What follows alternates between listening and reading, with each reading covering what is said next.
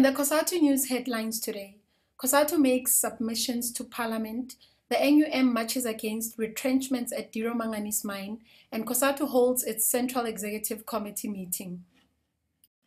The Congress of South African Trade Unions presented its submissions on the 2017-18 budget to Parliament's Finance Committee's public hearings on Wednesday, the 1st of March at the Old Assembly Chamber.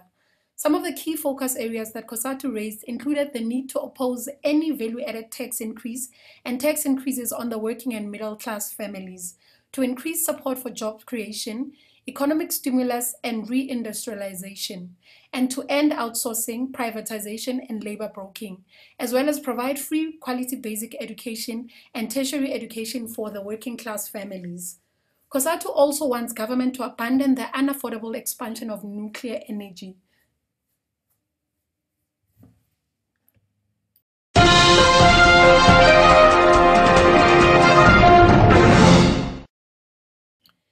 The National Union of Mine Workers marched to the Diro Manganese mine outside Postmasburg in the Northern Cape on Tuesday to protest against retrenchments at the mine.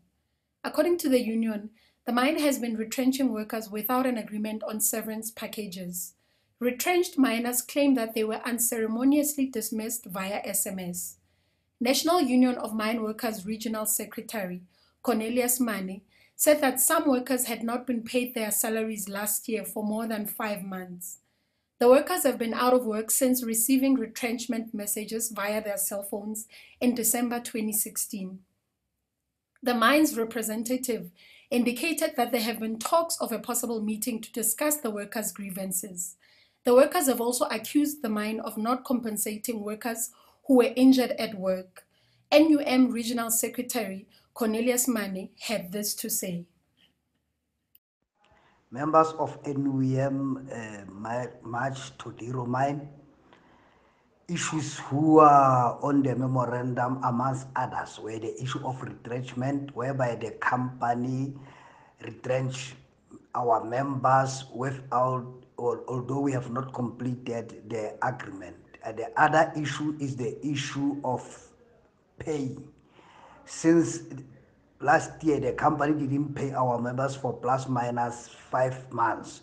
So we have handed over the memorandum.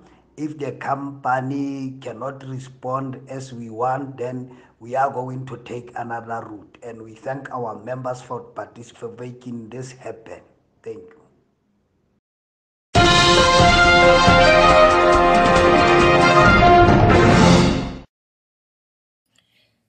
Congress of South African Trade Unions held its Central Executive Committee meeting this week from Monday until Wednesday to discuss a number of issues that affect its members.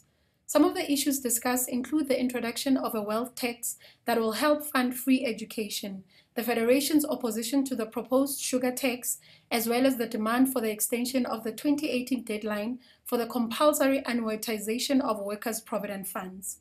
COSATU also stood firm on its decision not to sign the national minimum wage agreement before consulting its members and called for an annual increase to be included as part of the national minimum wage agreement.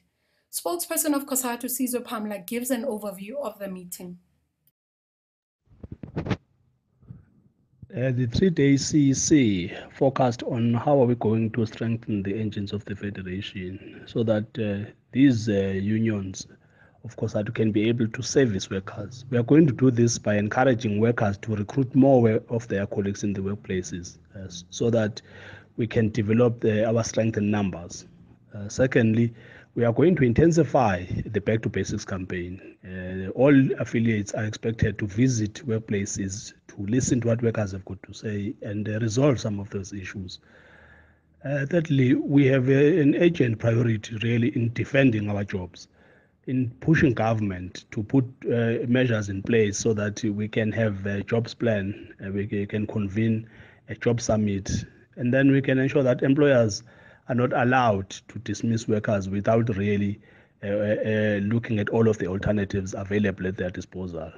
But lastly, as we approach 2017, there are a number of campaigns that we are going to have to uh, focus on. The issues of national minimum wage, we are happy with, with the progress that has been made so far but there's a campaign uh, ongoing about the living wage. We have to uh, make sure that we have got national health insurance implemented. Uh, we have to look at the public transport system because most of the workers are spending more money on public transport. We have to attend to issues of electricity prices because more workers are struggling to keep up with the price and the price of food, food security. So there are a number of issues, the number of campaigns that we need to embark on as the workers this year. And the CC has given us a clear mandate that we can only do this if we are united, if we intensify our recruitment, and if we've got uh, bigger and stronger unions.